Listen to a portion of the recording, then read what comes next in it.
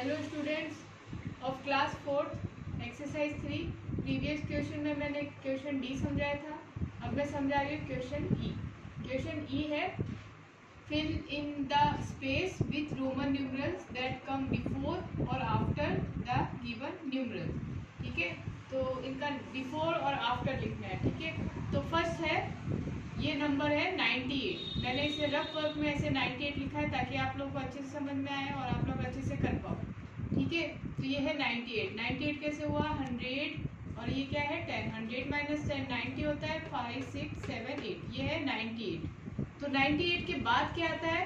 99 तो मैंने इसे रोमन न्यूमरल्स में ब्लैंक पे लिख दिया 99 ये इसका आंसर है. ये रफ वर्क है, ये आंसर है.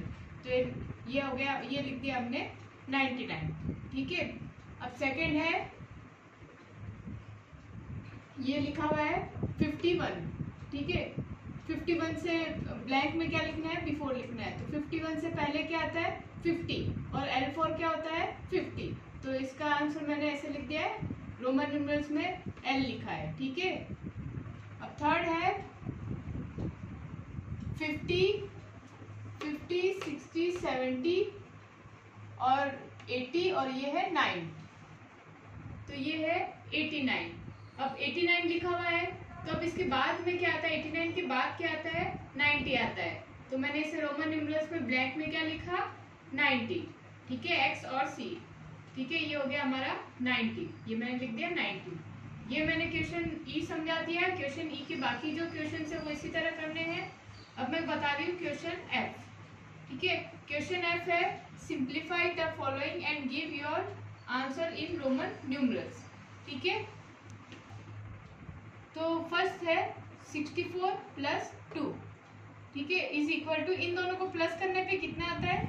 66 आता है। इसको हमें आंसर किसमें देना है? रोमन न्यूमरल्स में देना है।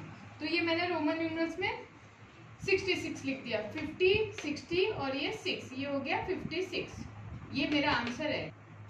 62 64 plus 62 is equal to 60 64 plus two is equal to 66 ये मैंने आंसर लिखा है 66 ठीक है? क्योंकि 64 प्लस टू ऐड करने पे क्या आता है? 66 ये मैंने आंसर रोमन न्यूमरल्स में ब्लैंक में लिख दिया ठीक है? अब सेकंड है 165 प्लस 21 150 165 सॉरी 165 प्लस 21 कितना होता है? 186 ठीक है? तो मैंने इसे रोमन न्यूमरल्स में वहाँ पे लिख दिया। 100 फिफ्टी सिक्सटी सेवेंटी एटी और ये है सिक्स तो इसे रोमन न्यूमरल्स में मैंने लिख दिया वन एटी सिक्स ये मेरा आंसर है. One sixty five plus twenty one is equal to one twenty six so one sixty five plus twenty one is equal to one eighty six ठीक है, ये मैंने रोमन न्यूमरल्स में उधर लिख दिया अब थर्ड है seven hundred seventy seven minus six hundred sixty six इन दोनों को माइनस करने पे कितना आता है? वन हंड्रेड इलेवन तो ये मैंने 111 रोमन न्यूमरल्स में लिख दिया। 100 और ये 10 और ये 1 ये हो गया 111 777 minus 666 is 66 is equal to 111 ठीक है? फिर से बता देती हूँ 64 plus sixty sorry 64 plus two is equal to 66 ये मैंने रोमन न्यूमरल्स में लिखा। 165 प्लस 21 इज़ इक्वल टू 186 ये भी मैंने Roman numerals answer Roman numerals में लिखने हैं। थर्ड है seven hundred seventy seven minus six hundred sixty six is equal to one hundred eleven तो ये मैंने रोमन न्यूमरल्स में लिख दिया। अब इसी तरह क्वेश्चन एफ़ करना है आपको घर पे। अब एक और क्वेश्चन समझा रही हूँ क्वेश्चन जी क्वेश्चन जी है rewrite the following sentence by by changing Roman numerals to Hindu Arabic ठीक है? इन सेंटेंस को रीराइट करना है। रोमन न्यूमरल्स को किसमें चेंज करना है? हिंदू अरेबिक में। तो फ़र्स्ट में क्या है? देर आर ये कितने लिखे हुए हैं?